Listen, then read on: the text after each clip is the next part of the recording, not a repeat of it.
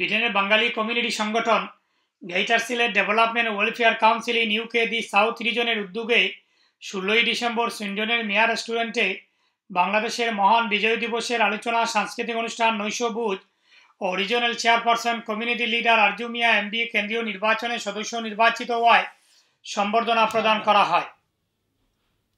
Inshallah,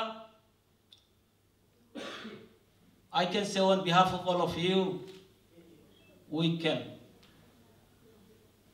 do something and show these people one of the best, one of the nice, one of the united region in United Kingdom, the South region, inshallah. Regional vice chair বিশিষ্ট ব্যবসায়ী M A কাহারের সভাপতিত্বে এবং regional secretary Mohammad Abdul Gani ও joint secretary M M Ali আফরুজের যৌথ পরিচালনায় অনুষ্ঠিত প্রোগ্রামে GSC কেন্দ্রীয় সদস্য ডেইলি সিলেট ও দৈনিক মলিবাজার ডট কমের সম্পাদক প্রধান অতিথি হিসাবে উপস্থিত ছিলেন।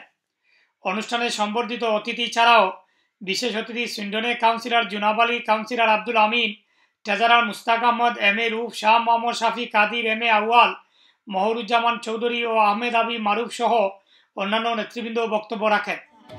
অনুষ্ঠানে সংগীত পরিবেশন করেন জনপ্রিয় কণ্ঠশিল্পী পুরুষনারা মণি সবাই বক্তারা মহান বিজয় দিবসের তাৎপর্য নিয়ে আলোকপাত করা সহ মহান মুক্তিযুদ্ধে অবদানকারী সবার প্রতি শ্রদ্ধা জানিয়ে স্বাধীনতার সঠিক ইতিহাস নবপ্রজন্মের সামনে তুলে ধরার আহ্বান জানান। বক্তারা সম্বর্ধিত অতিথি আরজু কমিউনিটি কর্মকাণ্ডে ভূয়সী প্রশংসা করে জিএসসির কেন্দ্রীয় সদস্য নির্বাচিত হওয়ায় তাকে অভিনন্দন জানান। সুইন্ডন থেকে মুকিস মনসুর, বাংলা টিভি নিউজ।